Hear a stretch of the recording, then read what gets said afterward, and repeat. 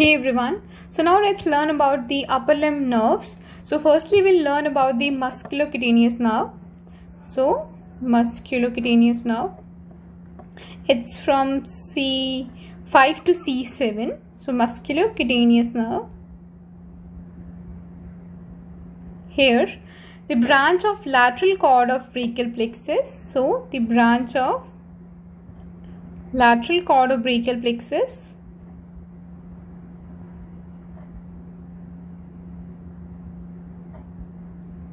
that pierces the coracobrachialis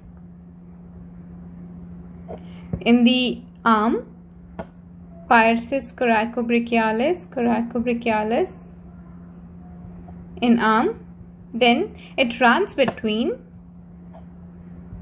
and runs between biceps brachii and brachialis muscles between biceps brachii and brachialis muscle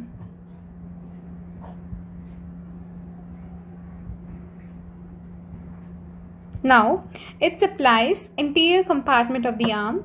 So after running between biceps brachii and the brachialis muscle, it supplies the anterior compartment of the arm and above the elbow.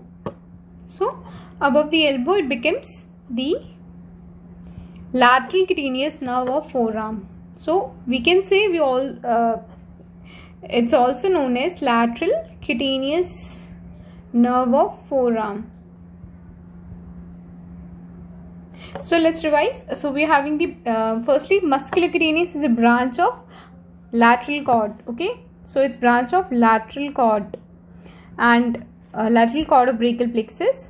So it pierces the coracobrachialis muscle and uh, in the arm and runs between biceps brachii and the brachialis muscle.